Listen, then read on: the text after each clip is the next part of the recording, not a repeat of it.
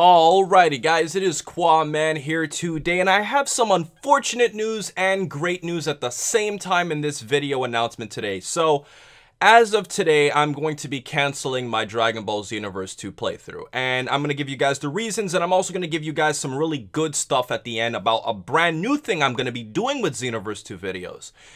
So it hit me guys. I thought about it from your perspective. If you have, you know, X amount of time in your day and you look at your sub box and you see so many people who have already done their Dragon Ball Xenoverse 2 playthroughs, or if you've already played through the game itself, you probably wouldn't have as much of an incentive to watch one particular person do the same exact thing that another person did. Now, granted, obviously everybody has a different commentary. I would have a different commentary from another YouTuber and vice versa. Everybody has different things they can say about the game. But it hit me that I just feel like if I continue doing a playthrough series, it's just not enough unique content and people just probably had enough of playthroughs at this point.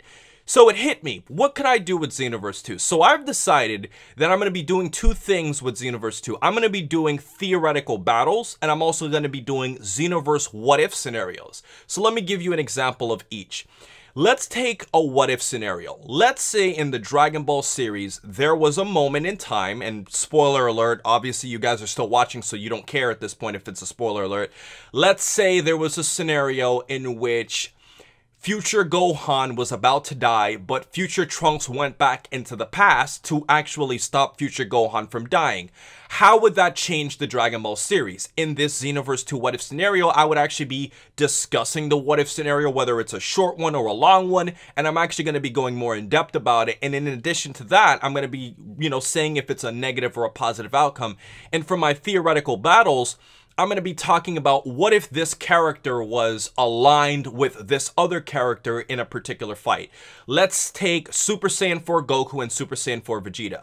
Let's say when Super Saiyan 4 Goku fought against Nuova and Eis, Super Saiyan 4 Vegeta was there with him. How would Super Saiyan 4 Vegeta's influence actually impact that fight in Dragon Ball GT with the two Shadow Dragons? And would that have actually helped history? Would that have hurt history? All of those lines. I'm going to be doing an analysis on that. And I just feel like that makes my content a lot more fun to do because I'm actually taking a twist on the game as opposed to just doing a playthrough that you know, a lot of you are probably tired of seeing at this point. So I hope you guys enjoy the good news, and I'm sorry for those of you who are probably bummed out by the unfortunate news that I have to cancel this playthrough, but I just think it's best for my time, and I think it's best for my channel if I try to do content that, you know, really actually analyzes the series a lot more in depth as opposed to just uploading something that you guys probably have already had your plate full of. So with everything else said, guys, I hope you guys enjoyed this announcement. And please remember to rate, comment, and subscribe. And remember, as I always say, to have a great day, guys. And we got some more Xenoverse 2 videos coming in the future that will include both Xenoverse 1 and 2. Have a great day.